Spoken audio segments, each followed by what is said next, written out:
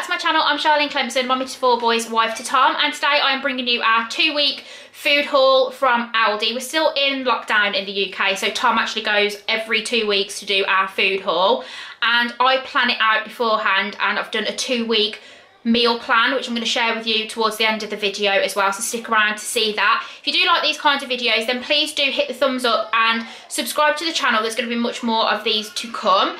Um over the next two weeks we will probably have to pop out and grab some more milk bread and possibly fresh fruit just to keep us topped up with that. But we usually do that. If we go out on our family walk one of us will go into our local corner shop and just pick up the essentials that we need from there. So we're just doing that one outing in the day. But without further ado I'll show you what we've got.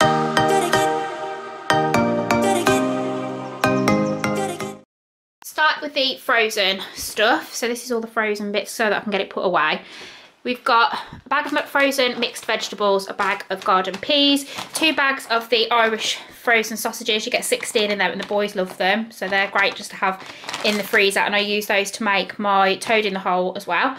Then a bag of the frozen smoothie mix. This is the exotic one. It's really nice for in smoothies or just to defrost and snack on. There's a bag of frozen roast potatoes because they're the only sort the boys will eat. Some french fries and some steak cut chips a bag of cauliflower cheese, some Yorkshire puddings, there's a bag there of frozen chicken breast fillets, some chicken nuggets, a pack of the chicken breast steaks in batter there for the boys chicken wraps and then some pizzas for when we have pizza party night. So that's all of the frozen stuff there. This is everything else that we've got. And I'll start here. We've got Little fromage frais pots for the boys, there's two lots of those. Some mature white cheddar, a big tub of butter, some of this Italian cheese that I use in my carbonara. Then I've got some of these garlic breads. They are literally just the cheapest chips garlic breads, but the boys really like them. So it's four of those, and we'll have those with some pasta meals. Then these sort of snacky bits are for lunchtime. So there's some of these German meatballs, two packs of Asda's, uh, sorry, Aldi's version of pepperonis. They're called Meatsters. There's two packs of those, two packs of ham, and then down here there's some sausage rolls as well. Then there's a tub of sour cream because I'm going to be making a chilli this week. So there's a tub of sour cream there. Then there's four tins of chopped tomatoes because our cupboards are running down now so I just needed some chopped tomatoes.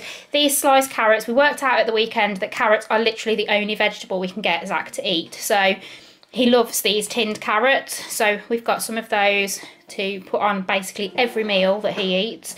And then the boys love these. Now I know these are not the best thing in the world, but they absolutely love them. And they're just these little sandwich fillers. So we've got two salmon paste, two chicken paste and two beef paste. Then for meat, we've got two big packs of minced beef. So I will split those up to make lots of different meals with those. There's a pack of bacon. A gammon joint, again, that'll make two meals. A beef joint, that'll make two different meals for all the family. And then we've got the fruit and veg. So I've got some seedless grapes, two packs of apples, two packs of bananas, some baby spinach, that's to go into the smoothies and things like that. Some mushrooms for the pasta meals, some baking potatoes, some normal potatoes, and then over the back, a bit more store cupboard stuff. We've got some gravy granules, two lots of this smooth tomato sauce because I use that kind of like a base. Then four pack of beans, some eggs, and a jar of pesto, some double strength orange juice and then some of the high juice summer fruits. That's mine and Tom's pizza behind there. They're absolutely delicious, these pizzas. We have these on our Friday night pizza party night. They're really, really tasty. Then there's some crisps at the back there. There's a meaty feast pack of 30 and some prawn cocktail. My coffee ran out this morning, so I'm so happy to see that. Then there's two uh, jars, plastic jar things of hot chocolate because the boys do like hot chocolate of an evening, a thing of custard, some Nutoka, which is like Aldi's version of Nutella, it's really good, some Choco Hoops because we've got muesli, we've got Weetabix, we've got porridge in the cupboards, but the boys do like Choco Hoops every now and again, just as a bit of a treat in the mornings. Some Joy Mix, which is basically for bribery. And then some chocolate chip cookies, bourbon creams, and some custard creams. So that's all of that. And then I'll just take you over here. And over here, I've got two loaves of white bread, pack of nappies, they're just pull-ups that Zach wears of an evening. Then three big six pinters of milk, three packs of bagels. I'll probably put one of those in the freezer. The boys just love bagels at lunchtime. And then two packs of the white tortillas. Again, they'll be for lunches and also for a meal for one of the nights as well. I'm doing burritos for me and Tom. And then the boys will have like southern fried chicken wraps on that night because they don't like chili. So that is for that.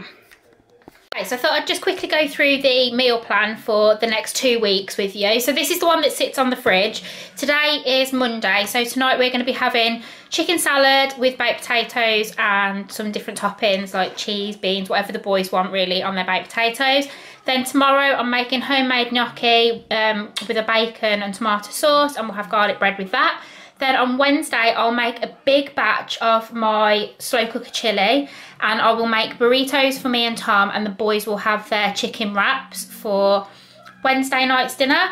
Then Thursday, it's actually a bank holiday on Friday, so we're switching pizza party Friday night to pizza party Thursday night. Then on Friday, we are going to have a pasta bake, again with garlic bread. Then on Saturday, I make a Chinese chicken curry for me and Tom, but it's a little bit too spicy for some of the boys.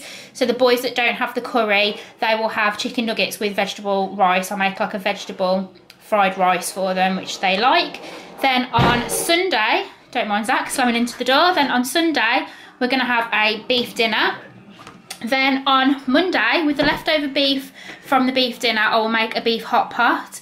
Then on Tuesday, I'm actually going to do a gammon joint, the gammon joint that I showed you in the slow cooker. That will do carbonara with that gammon joint on the Tuesday night. And we'll have that again with garlic bread. And then on the Wednesday, the boys are going to have baked potatoes. We will have the rest of the chili that I'm going to make for the burritos because that will have been popped in the freezer. Then on the Thursday, I've actually got a tin of corned beef in the cupboard. So I'm going to make corned beef hash and beans. Then on Friday, it will be ham, egg and chips using the gammon. And on Saturday, the following week, it will be lasagna and garlic bread, which again will be from this night. I'll make a big batch of my slow cooker, like bolognese sauce, and that'll serve then the two meals across the two weeks. And then on the Sunday, I will do toad in the hole with some of those frozen sausages. So that's how I make it spread across the two weeks with everything that we have purchased. Okay guys, I hope you enjoyed that. The overall cost of the entire shop was £111. Now if you remember that is for six of us across the two weeks, which I just think is brilliant. That means it's like just over £50 a week for us and it did include those pull-ups as well for Zachary. And like I say, we probably will have to pop out and grab some more milk, bread and possibly fruit as well because I do like the boys to be able to have fresh fruit every day. But if you enjoyed this video, then do stick around. I am going to be doing a what we eat in a week video and also some recipe videos as well, just showing you how I do things like my chili in the slow cooker and that kind of thing. So if you'd like to see those, then do stick around and take care of yourself, stay safe, and I'll see you on the next one. Bye guys.